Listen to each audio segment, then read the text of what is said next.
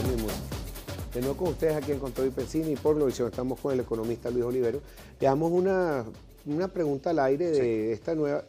Es una pregunta difícil porque no se ha hablado mucho del tema, no sabemos, a, menos que sea lo mismo de siempre, el nuevo esquema cambiario DICOM. Van a ser dos subastas a la semana, eh, parece que pueden entrar eh, personas privadas, público, eh, todo tipo de sector ofrece mucho, pero nosotros hemos tenido ya experiencia por mucho tiempo que siempre nos ofrecen y después no hay acceso a ese mercado. ¿Qué has escuchado tú? Mira, eh, primero lo que tú dices para mí es la clave, ¿no? Eh, tenemos precedentes muy malos. no es la primera vez que tenemos subastas, tuvimos subastas hace unos años y yo recuerdo que quitaron esas subastas porque esas subastas fueron corrompidas. Eso fue la palabra que habló el gobierno. Las subastas no sirvieron. Los dólares no están llegando a donde deben llegar. A ver, primero que nada que eh, ya hablar de subasta y no hablar de desmontaje del control de cambio es, es, fatídico, es terrible. Desde mi punto de vista, y creo que ahí hay consenso entre el 99% de los economistas del país, la salida tiene que ser desmontar el control de cambio. Nosotros hemos hablado de eso muchísimas veces, Pedro, tanto en televisión como en radio, y, muchas veces nosotros hemos dicho que el desmontaje tiene que ser gradual. Gradual. Gradual. Ahora. Y tomando en cuenta lo social siempre. Exactamente, tienes que tener en cuenta lo social, tener en cuenta este, la banca, enmarcado en un plan de gobierno, en un plan de, mira, como tú lo quieras nombrar, porque hay economistas, plan de ajustes, plan de reconstrucción, el, no, el nombre que usted economista le quiere dar. Ahora, pasan los tiempos, pasan los días, pasan las semanas, pasan los meses, los años, y el desmontaje va a tener que ser radical en algún momento, porque las distorsiones se siguen acumulando, la pobreza sigue aumentando. Pero ha sido tan radical, como tú lo dices, lo que ha sucedido, que en este momento ya tomar una decisión ya, ya, ya está tomado, ya, ya la inflación agarró todo, ya los precios están sincerados. El entre, entre el movimiento de ese tipo de cambio y la inflación cada día más fuerte, cada día, cada día, o sea, te va a costar menos este, desmontar lo que tienes que tener es este voluntad política. Y yo creo que ahí está la clave. Voluntad política para hacerlo. Y aquí lamentablemente yo creo que priva lo que 100 personas piensan sobre 31 millones de, venezolanos que se están viendo afectados por el control de cambio. Porque señores, usted, Pedro, el camarógrafo, o sea, camarógrafo que, cumple años, ustedes que, que me están viendo, y disculpa que te nombre a ti, pero bueno. Es tu cumpleaños. Es tu cumpleaños, compadre. Al final es, ninguno de nosotros nos estamos viendo beneficiados por el control de cambio. Ninguno. Ninguno. Ninguno. Ni las reservas han aumentado. De hecho, de 30 millones en el 2015 están, de 30 mil millones van por menos de 10 bueno, te doy un dato. Esas reservas, si tú las deflactas a inflación y las llevas a per cápita, ese nivel de hoy es el mismo nivel que tenía Venezuela en 1940. Wow. Entonces, que me hables de solidez. En términos reales. Términos reales y per cápita. Mm. O sea, 1940. O sea, hoy Venezuela tiene una situación externa comprometida como, como nunca en su historia. Entonces, y nos vienen pagos de deuda. Entonces, mira, ya va. Este, ¿Qué es lo que viene del nuevo, nuevo sistema? Primero, van a, vamos a ir a un mercado, o sea, de verdad va a ser una subasta. Pedro va a ofertar 2.500 bolívares, yo voy a, ofertar precio mercado 2.800 y, gano yo porque oferté más. No, va a ganar el que oferte a 1.500. Tú pones un ejemplo. Si el que gana es 1.500, ya eso no es subasta. Claro. Segundo, Pedro va a tener barreras de entrada y yo también, pero el camarógrafo, disculpe el fastidio, el camarógrafo va a poder entrar. Oye, ojalá y pueda entrar él. Pero el camarógrafo va a poder entrar y él es el que va a ganar. ¿Cuáles son los montos? ¿Van a participar las casas de bolsa? Que ojalá. Ojalá. Porque cuando participaban teníamos un mercado mucho más fluido, transparente. Hasta el 2010 tuvimos un sistema dual. Porque las permutas, la gente no, se, no, no, no, nos dábamos cuenta que había un, control de cambio, porque tú levantabas el teléfono y comprabas dólares. Mm. Después del 2010, Jordania acabó con la, con la casa de bolsa, entonces bueno. La satanizó. La satanizó. Fue gente presa. Y las persiguió y, fue gente presa de manera inocente, recordemos Coninvest. Entonces, ¿qué, ¿qué es lo que yo creo que va a pasar? Vamos a un nuevo sistema, que ya lo tuvimos, donde van a privilegiar a unos pocos y donde la gran mayoría no vamos a tener, va a ser lo mismo de siempre, porque además no hay dólares. Pedro, y la única manera de mejorar la situación en el tema cambiario es, liberando. Y el second best no es subastas donde el gobierno va a decir a cuál va a ser la tasa. Lamentablemente es así, yo no espero nada por eso. Pero el hecho que haya entrado nuevamente en el gobierno, o por lo menos formar parte de, los que toman decisiones en materia económica, Miguel Pérez Abad, él logró muchas cosas el poco tiempo que estuvo, por lo menos bajó el dólar today y el otro lo hizo como un crawling peg poco a poco y los, casi que los une. Y en ese momento salió cuando era el momento ideal para hacer la unificación. Sí, a lo mejor ese precedente lo lleva a no hacer más cosas o a no plantear más cosas porque sabe que si lo vuelve a hacer lo pueden sacar. Si se mete con el plan de la patria, está fuera. Es que mira, yo, yo creo que al final eh, el, eh, Pérez Abad puede ser que tenga unas excelentes ideas, pero yo creo que al final el, el ministro Serrano, el español serrano, que es el que domina la finanza en Venezuela, no está por ahí, no está pensando en eso, no está pensando en liberación, no está pensando en economía de mercado. Y señores, aquí hay que pensar en economía de mercado, aquí hay que pensar en privatizaciones, aquí hay que pensar que el sector privado tiene que ser fuerte y que el Estado no puede ser fuerte en la economía, tiene que ser fuerte en generar seguridad, en generar, este, oye, salud, en generar un conjunto de servicios. Fíjate lo que, lo, que tú dices, estás en línea con lo que decía Francisco Martínez, presidente de Fede Cámaras ayer, que él que está hablando con algunos personeros del gobierno, porque habló con el ministro, fue a Suiza, dice, aquí hay gente con ideas muy pragmáticas y que tiene la solución de, lo que se tiene que hacer en el gobierno, pero lo malo es que hay una ideología tomada por muchos, a lo mejor es este ministro Serrano, que es el español, que dice, no, esto son es un radicalismo político que no deja tomar las soluciones pragmáticas. Porque además es satanizar al sector privado. El sector privado es malo. Todo lo que hace el sector privado es malo. Lleva una pero hay un acercamiento, porque de hecho se dio esa reunión. Sí, pero el acercamiento es, toma, te doy un crédito para que produzcas para los clubs. Señores, esta es una economía que tiene tres años sin crecer. Tres, años cayendo considerablemente, más de 26% en acumulado. Este año no vamos a crecer va a querer, según mis cálculos, es 3% lo que vamos a caer. Pero además tú no puedes Oye, pero no es nada al lado de los 12% que cayeron el año pasado pero, más. Pero, es que imagínate tú, que vienes de un, bueno, según números de, de, nosotros está entre 15 y 18. Vele la cara lo que es una caída de 15, 18% del PIB, que también este año caigas en 3, cuando tenías un efecto rebote por lo menos crecer 1. ¿El sector petrolero cuánto cayó? El sector petrolero puede estar cayendo 12, 15% también, porque recuerda que hay una caída en la producción petrolera de 300 mil barriles. Por eso, 300 mil barriles, además que tienes el sector refinación en el piso. Y eso, y, eso, lo vivimos la semana pasada. Te pregunto porque Baker Hughes publicó los números de, taladros que están funcionando y de 70 quedan 50. Y ellos hacen una proyección que va a bajar la producción en 1.800.000, 1.700.000 barriles, una caída de un 20% de producción para fin de año. Los estimados son muy graves de producción petrolera de Venezuela y eso lo que te indica es que la capacidad de pago de deuda también se va a disminuir porque el único ingreso en divisa que tiene Venezuela hoy es, el petróleo. Entonces, mira, si tú satanizas el sector privado, y yo soy un defensor a del sector privado y, ando con eso, yo defiendo las instituciones y defiendo al sector privado porque no hay ningún país en el mundo que genere crecimiento y genere desarrollo y saque a la gente de la pobreza, que es lo que deberíamos estar haciendo en Venezuela, sin un sector privado fuerte y sin instituciones fuertes. Y hacia allá tenemos que, apuntar. No podemos estar pensando en radicalismo, no podemos estar pensando que el control de cambio es bueno, que el control de precios es bueno y que la solución al problema de la pobreza en Venezuela es darle una bolsa de comida a la gente. No, es darle la potestad a la gente para que compre los alimentos que ellos quieran en la cantidad que le dé la gana y donde le dé la gana. Oye, que un tipo en una panadería se pasa y vende la canilla en X. Pana, yo tengo. Pero es que entonces persigo al panadero porque el panadero es malo. No, yo tengo y genero. ahora vienen las carnicerías y después viene la ferretería. Genero los incentivos. Y entonces, pero esto es una, un concepto marxista-leninista. Un concepto marxista-leninista, cortesía del señor Serrano. Si yo genero los incentivos para que haya 100 panaderías, si la panadería de Pedro me vende la canilla en 500 bolívares y la de Luis Olivero en 600, pana Tú le compras a quien te dé la gana. Estoy poniendo un ejemplo. Es el libre juego de la oferta de demanda que funciona en todas partes del mundo. Tú estás caminando en Nueva York y, pongo Nueva York por ejemplo, pero pon Bogotá, La Paz, Bogotá y La Paz.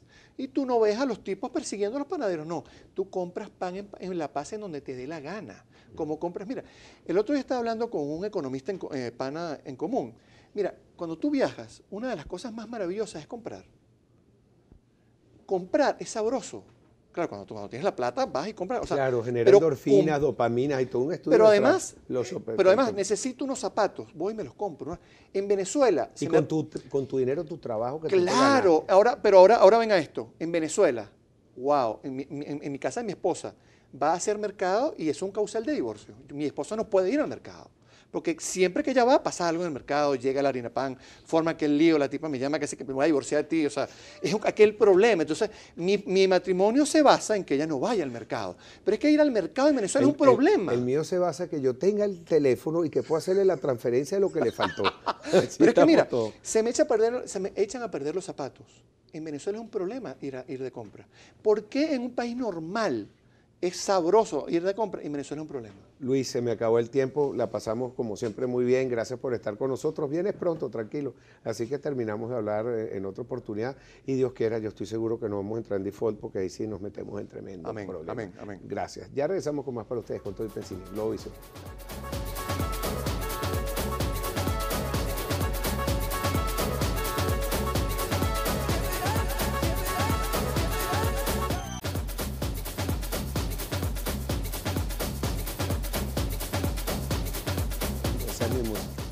De nuevo con ustedes aquí en Control y por lo visión estamos con el economista Luis Olivero.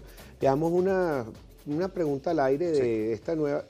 Es una pregunta difícil porque no se ha hablado mucho del tema, no sabemos, a, menos que sea lo mismo de siempre, el nuevo esquema cambiario DICOM.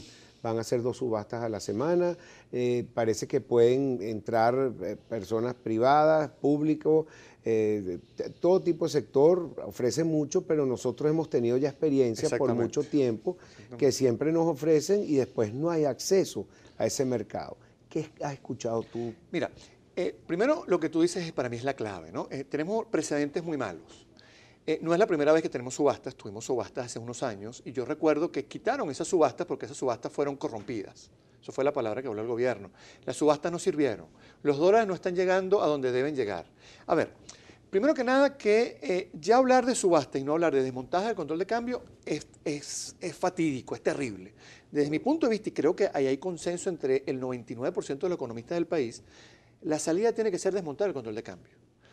Nosotros hemos hablado de eso muchísimas veces, Pedro, tanto en televisión como en radio, y, muchas veces nosotros hemos dicho que el desmontaje tiene que ser gradual. Gradual. Gradual. Ahora. Y tomando en cuenta lo social siempre. Exactamente, tienes que tener en cuenta lo social, tener en cuenta este, la banca, enmarcado en un plan de gobierno, en un plan de, mira, como tú lo quieras nombrar, porque hay economistas, plan de ajuste, plan de reconstrucción, el, no, el nombre que usted economista le quiera dar.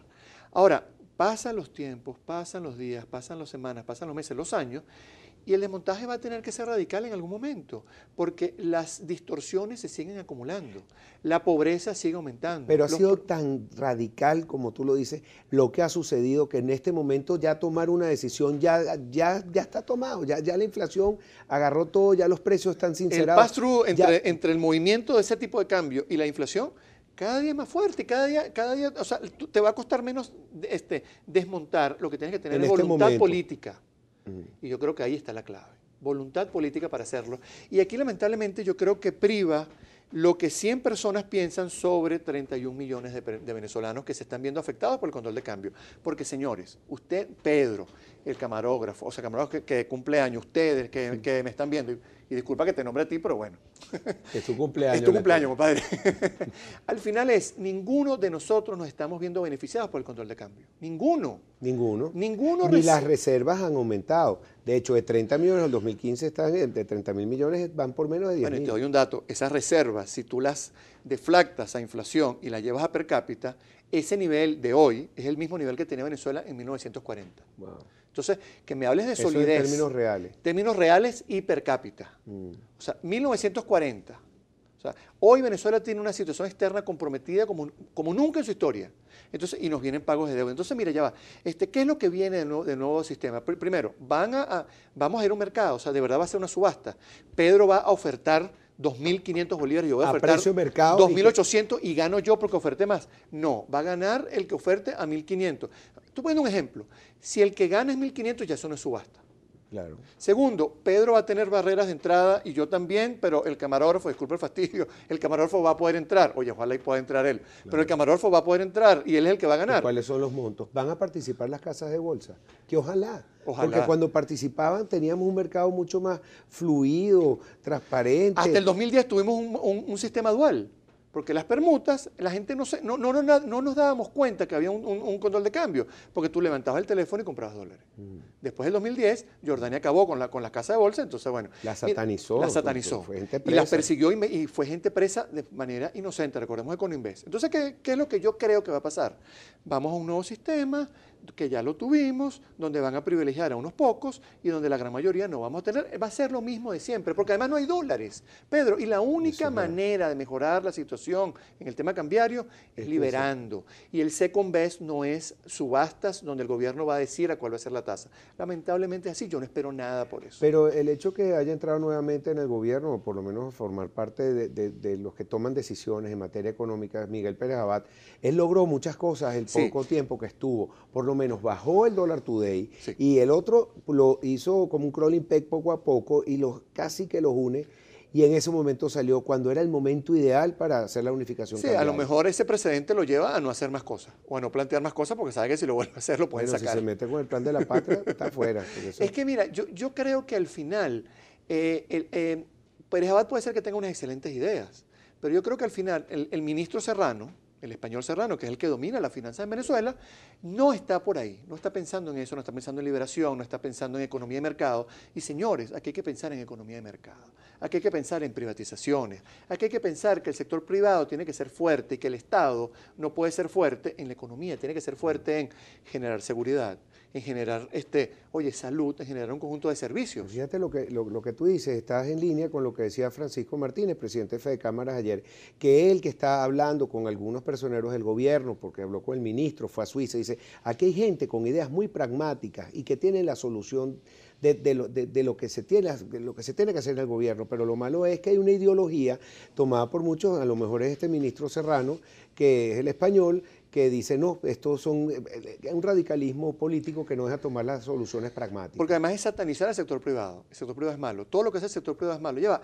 una pero hay un acercamiento, porque de hecho se dio esa reunión. Sí, pero el acercamiento es, toma, te doy un crédito para que produzcas para los clubs. Señores, esta es una economía que tiene tres años sin crecer tres años cayendo considerablemente, más de 26% en acumulado. Este año no vamos a crecer va a querer, según mis cálculos, es 3% lo que vamos a caer. Pero además tú no puedes Oye, crecer. pero no es nada al lado de los 12% que cayeron el año pasado pero, más. Pero, es que imagínate tú, que vienes de un, bueno, según números de, nosotros está entre 15 y 18. Vele la cara lo que es una caída de 15, 18% del PIB, que también este año caigas en 3, cuando tenías un efecto rebote por lo menos crecer 1. ¿El sector petrolero cuánto cayó? El sector petrolero puede estar cayendo 12, 15% también, porque recuerda que hay una caída en la producción petrolera de 300 mil barriles. Por eso, 300 mil barriles, además que tienes el sector refinación en el piso. Y eso, y, eso, lo vivimos la semana pasada. Te pregunto porque Baker Hughes publicó los números de, taladros que están funcionando y de 70 quedan 50. Y ellos hacen una proyección que va a bajar la producción en 1.800.000, 1.700.000 barriles, una caída de un 20% de producción para fin de año. Los estimados son muy graves de producción petrolera de Venezuela y eso lo que te indica es que la capacidad de pago de deuda también se va a disminuir porque el único ingreso en divisa que tiene Venezuela hoy es, el petróleo. Entonces, mira, si tú satanizas el sector privado y yo soy un defensor a del sector privado y, ando con eso. Yo defiendo las instituciones y defiendo al sector privado porque no hay ningún país en el mundo que genere crecimiento y genere desarrollo y saque a la gente de la pobreza, que es lo que deberíamos estar haciendo en Venezuela, sin un sector privado fuerte y sin instituciones fuertes. Y hacia allá tenemos que, que apuntar. No podemos estar pensando en radicalismo. No podemos estar pensando que el control de cambio es bueno, que el control de precios es bueno y que la solución al problema de la pobreza en Venezuela es darle una bolsa de comida a la gente. No, es darle la potestad a la gente para que compre los alimentos que ellos quieran en la cantidad que le dé la gana y donde le dé la gana. Oye, que un tipo en una panadería se pasa y vende la canilla en X. Pana, yo tengo. Pero es que entonces persigo al panadero porque el panadero es malo. No, yo tengo y genero. ahora vienen las carnicerías y después viene la ferretería. Genero los incentivos. Y entonces, pero esto es una, un concepto marxista-leninista. Un concepto marxista-leninista, cortesía del señor Serrano. Si yo genero los incentivos para que haya 100 panaderías, si la panadería de Pedro me vende la canilla en 500 bolívares y la de Luis Olivero en 600, pana Tú le compras a quien te dé la gana. Estoy poniendo un ejemplo. Es el libre juego de la oferta de demanda que funciona en todas partes del mundo. Tú estás caminando en Nueva York y, pongo Nueva York por ejemplo, pero pon Bogotá, La Paz, Bogotá y La Paz. Y tú no ves a los tipos persiguiendo a los panaderos. No, tú compras pan en, La Paz en donde te dé la gana. Como compras, mira, el otro día estaba hablando con un economista en, eh, pana en común. Mira, cuando tú viajas, una de las cosas más maravillosas es comprar. Comprar es sabroso. Claro, cuando, tú, cuando tienes la plata, vas y compras. claro, genera endorfinas, dopaminas y todo un estudio. Pero además, pero además necesito unos zapatos, voy y me los compro. En Venezuela... Y con, tu, con tu dinero, tu trabajo que Claro, ahora, pero ahora, ahora venga esto. En Venezuela, wow, en mi, en mi casa de mi esposa, va a hacer mercado y es un causal de divorcio. Mi esposa no puede ir al mercado. Porque siempre que ella va, pasa algo en el mercado, llega la harina pan, forma aquel lío, la tipa me llama que, me voy a divorciar de ti, o sea, es aquel problema. Entonces, mi, matrimonio se basa en que ella no vaya al mercado. Pero es que ir al mercado en Venezuela es un problema. El, mío se basa en que yo tenga el teléfono y que pueda hacerle la transferencia de lo que le faltó. Pero es que mira, se me, echa a perder, se me echan a perder los zapatos. En Venezuela es un problema ir, a, ir de compra. ¿Por qué en un país normal es sabroso ir de compra y Venezuela es un problema. Luis, se me acabó el tiempo, la pasamos como siempre muy bien, gracias por estar con nosotros, vienes pronto, tranquilo, así que terminamos de hablar eh, en otra oportunidad y Dios quiera, yo estoy seguro que no vamos a entrar en default porque ahí sí nos metemos en tremendo amén, Amén, amén. Gracias. Ya regresamos con más para ustedes con todo el pensamiento. Lo hizo.